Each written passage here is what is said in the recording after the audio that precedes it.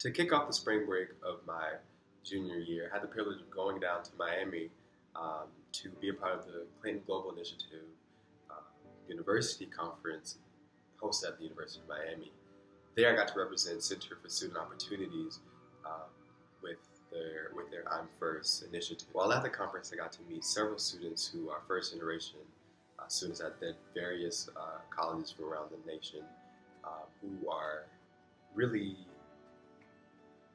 starting a great uh, project or initiative at their universities, um, in their cities, in their towns to really help uh, people in various ways. It's people who wanted to help people who are first generation like themselves, and also people who want to help uh, out communities who are underserved um, and their various experiences and the various uh, uh, the different paths they took to be at, the, their universities all influence the ways and the, the, the different projects that they initi- they're initiating and they presented at the conference. Um, it was really humbling for me because I got to see people who are doing things uh, that are amazing or, or, or amongst other people who maybe come from privilege, who may have a different experience than the first generation spirit experience, um, really get engaged and really become front runners in their different fields and their different um, their different initiatives.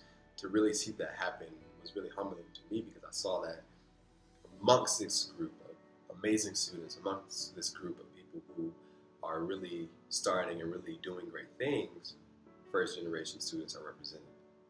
In addition to talking to those students, hearing about their great projects and the great initiatives that are starting in various communities around the world, or even um, I got to sit in on panels uh, at, the, at CGIU and listen to uh, President Clinton, uh, of course, Hillary and Chelsea speak, but other people um, who are from various walks of life, including Jaime Lerner, um, speak about the great things and the great ideas and the big picture uh, kind of notions that we kind of need to consider.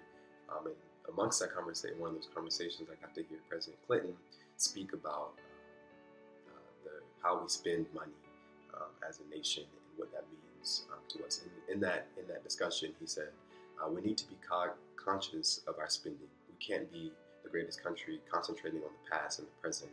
We must be conscious of our future. And I think that's very important in context in the sense that when we think about spending, when we think about fiscal, the fiscal year and all kind of stuff, um, we need to be conscious of uh, where we're going to be in the future. But being at the conference and really thinking about that last part, we must be conscious of our future. Um, it really speaks to what the conference was about generally, and what I got out of the conference as a whole. And that is that um, when we think about us our, ourselves as college students and what we're doing, where we want to go in life, uh, we must be conscious of our future. We get a lot, oftentimes caught up in our past, maybe maybe even as uh, first generation of students, where we come from, what our history looks like, what our family history looks like, that we don't really look forward toward. We don't look towards the future. And other times we get caught up in our present, the stresses of college or the stresses of even applying to college, that we get distracted from our future and our end goal. So to take what President Clinton said beyond the scope of spending uh, as a country or as a nation, and to take it and say we must uh, we not must not be too focused and concentrate on our past and our present, but really be conscious of our future. So even as first generation students, we must do that. And I think that was a great um, one of one of the greatest things that he said, and really hit home for me. And uh, definitely wanted to share that um, with other students. It felt good to get certain breaks and, uh, and throughout the day to just take in where I was, to take in the, um, the atmosphere um, and the type of uh, energy that was there. So I had several opportunities to um, just walk around and just capture the moments of um, what CGIU was, and what, was what what it all looked like, um, in addition to how it felt. Um, so I got to just walk around and just, just be at the uh, University of Miami to see the different places where we were hosting these events and be in a room when it was empty and just, just look over and just watch uh, feel, get a feel for what, what the, the uh, Clinton Global Initiative uh, University Conference group was really about.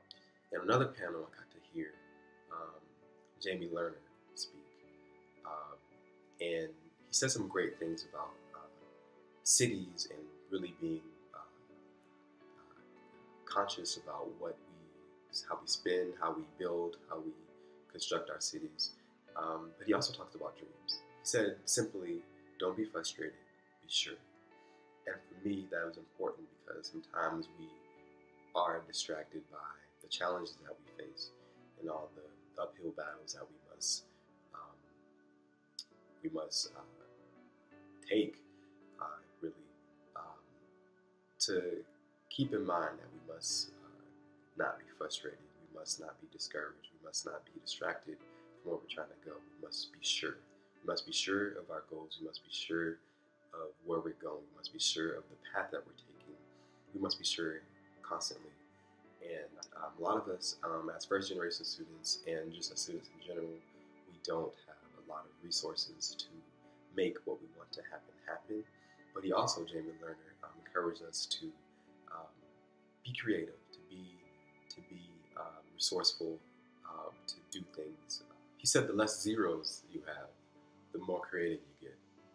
Uh, so taking those that maybe not having as many, um, as much money or as many resources as other as other people do, doesn't mean we can't do great things and we can't be um, uh, uh, high achievers. So just keeping that in mind and continuing to strive and continuing to be future minded future oriented um, is what I took from that um, experience and really wanted to share um.